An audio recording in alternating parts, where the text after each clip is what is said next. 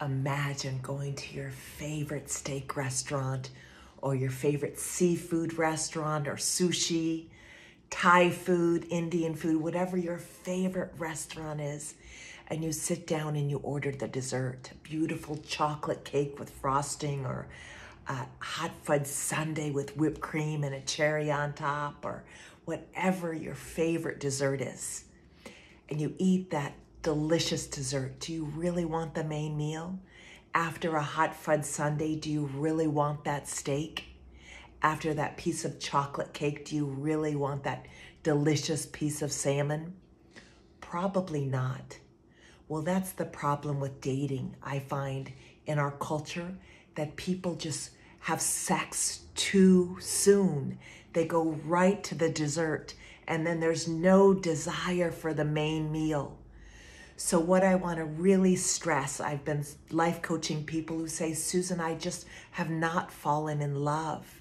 It's because you have to slow down. You have to slow down, and the longer you wait, the more delicious that dessert is. So, really take your time and get to know that person. Take it slowly. Really put on the brakes. Wait maybe one, two, even three months to get that know that person because the longer you wait, the more delicious it's going to be. The more delicious the relationship's going to be and it's really important for women to really it's time for them to put brakes on the guy pressuring them to have sex. Really slow down and really don't be intimate until you feel you want to be exclusive and monogamous with that person really wait and take time and say, wait a minute here.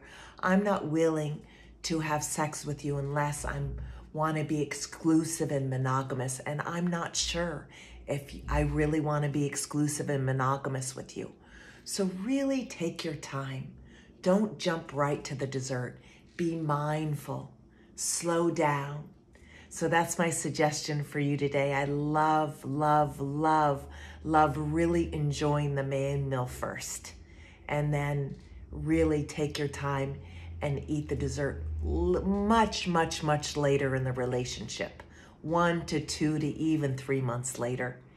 Anyhow, if you haven't subscribed to my YouTube channel, please, please, there's a tons of tips. At um, my channel is called Susan Foxley. I'm a life coach and I'm a yoga teacher, and I hope that's helpful all my love. Mwah. Have a beautiful day.